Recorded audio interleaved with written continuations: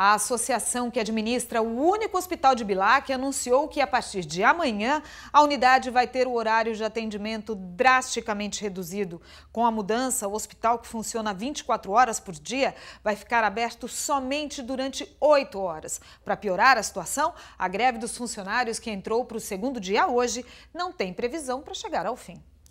O hospital, que tem mais de 60 anos de existência, é o único em Bilac e atende normalmente cerca de 100 pacientes por dia de mais de três cidades da região. Mas com a greve dos trabalhadores, o atendimento está comprometido. Agora, só casos de urgência e emergência passam por aqui.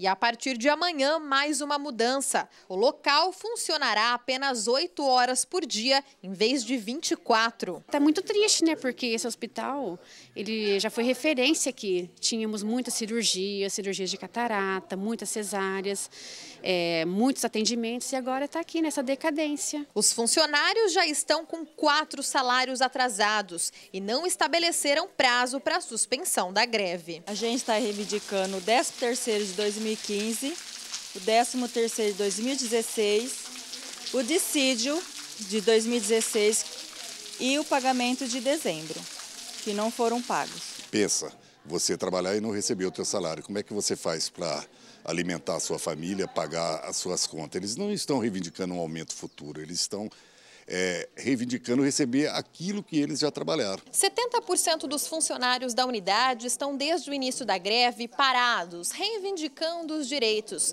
E a população está junto com eles. Mesmo com o atendimento prejudicado, eles apoiam os trabalhadores. Você acha que os funcionários estão certos de reivindicar? Lógico que estão, porque eles não querem, não estão reivindicando para o aumento de salário. Eles estão reivindicando para o salário atrasados. Eles estão certinho. Claudemir, que mora na cidade, está sentindo na pele. Há poucos dias, a mãe dele, que é idosa, precisou de atendimento, mas acabou sendo socorrida de forma improvisada. Falaram que não podia ir buscar, porque é só caso de extrema emergência, ou seja, facada, morte ou infarto. No caso, se ela falta o ar, é perigoso chegar acontecer alguma coisa. Eu tive que catar a moto, montar ela na moto e trazer aqui para ser atendido. Em nota, a empresa responsável pelo hospital informou ainda que esses atrasos estão acontecendo porque durante um ano eles não receberam repasses da Prefeitura de Bilac, uma dívida que soma mais de 800 mil reais. Esse dinheiro é na época que vinha repassando, sempre todos os prefeitos que passaram em Bilac sempre ajudaram a associação. Chegou em julho de 2015, a atual administração do município parou de repassar. Houve uma negociação há duas semanas atrás com todos os prefeitos e os diretores da HBB, onde eles passaram para a gente um custo de 190 mil reais por mês.